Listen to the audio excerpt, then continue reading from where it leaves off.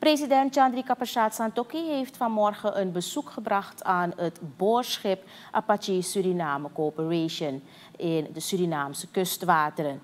Het staatshoofd heeft zijn waardering uitgesproken aan het adres van het bedrijf voor het werk dat ze verzet en de opening van haar nieuwe kantoor.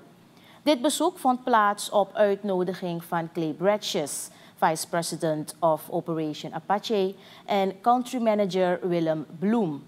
President Santokhi noemde Apache Corporation Surinames vertrouwde partner.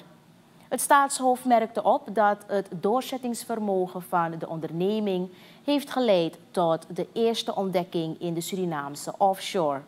Hij legde de nadruk op het belang van goed partnerschap, wat fundamenteel is voor optimaal succes.